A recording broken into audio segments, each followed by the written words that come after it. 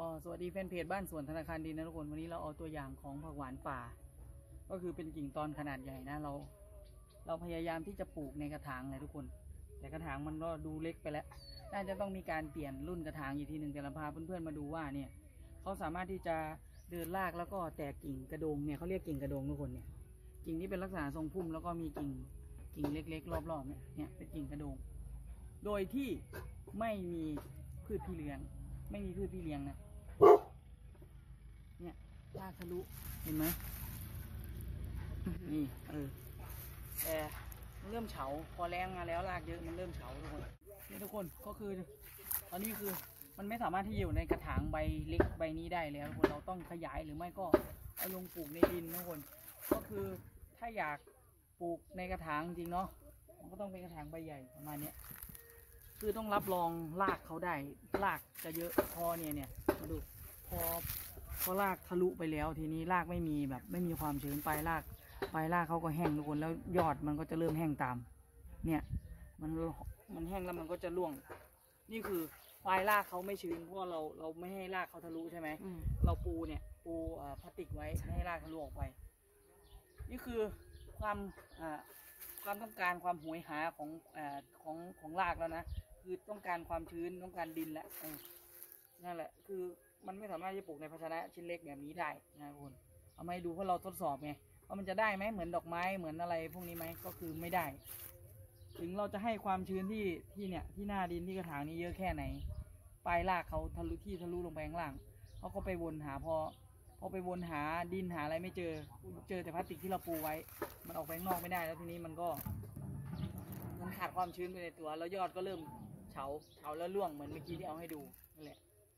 สรุปแล้วคือถ้าแต่ถ้าปลูกในวงบ่อแล้วคือวงบ่อไม่ได้ไม่ได้กันข้างล่างเนาะให้สามารถให้ทะลุได้อันนั้นจะน่าจะเป็นไปได้ เพราะว่ารากเขาก็จะเดินไปได้เรื่อยๆ แต่ถ้าจะกำจัดเอ้ยจำกัดไม่ใช่กำจัดจำกัดวง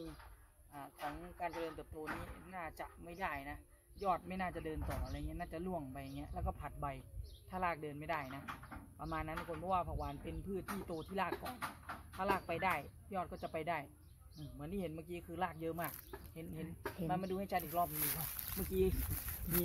เรื่องสะดุดนิดหน่อยรถเข้ามาอืมนี่เห็นไหมเห็นเนาะอืมเออเห็นไหมเนี่ยอืมเนี่ยรากเริ่มเฉาเห็นไหมอ่าเออรากเริ่มเฉาปุ๊บยอดก็จะทำปฏิกิริยาตามเลยทันทีแล้วคนประมาณนั้นถ้าใครที่ปลูกก็คือ พยายามหาดินหรือว่าพยายามแบบขุดหลุมให้ลึกไว้ แล้วก็ลองด้วยวัสดุที่รากเขาสามารถอ่าเดินไปได้ไวเพราะถ้ารากเดินได้ยอดก็เดินได้ประมาณนี้ทุกคนส่วนต้นนี้ ชะตากรรมก็น่าจะได้ลงดินนะทุกคนเพราะว่าเราไม่ไม่เอาแล้วแบบนี้ไม่อยากให้มันตายเนาะเนี่ยถ้าทำมาเดือนกว่าๆเกือบสองเดือนไหมอืมเออใช่เนี่ยได้กิ่งกระดงสวยๆเลย แล้วพอเริ่มเข้าแรงปุ๊บเออรากเดินต่อไม่ได้ปุ๊บ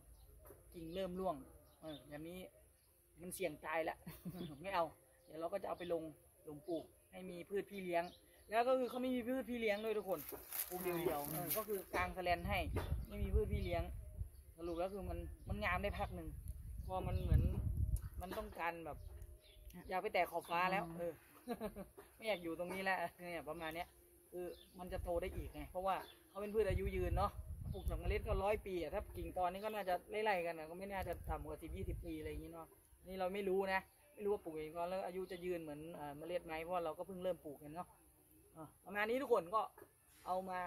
ฝากเพื่อนๆสำหรับใครที่แบบสงสัยว่ามัน จะเจริญเติบโตได้ไหมปลูกในกระถางได้ไหมอะไรอย่างนี้เราก็ลองดู นี่เป็นอ่าตั้งสมมติฐานเนาะตั้งคำถามแล้วก็ทดลองทดลองแล้วก็เอาบทสรุปมาให้เพื่อนดูประมาณนั้นนี่นี่เป็นการทดลองของเรานะแต่ถ้าใครที่ทำอะไรที่แตกแยกออกไปแปลกกว่านี้เออแล้วมีข้อมูลมาอัปเดตมากกว่านี้ก็แชร์กันมาทุกคนเออเราพร้อมจะรับข้อมูลใหม่ๆว่าจะทำยังไงอะไรประมาณนี้เพราะคนสนใจปลูกเยอะมากผักหวานป่า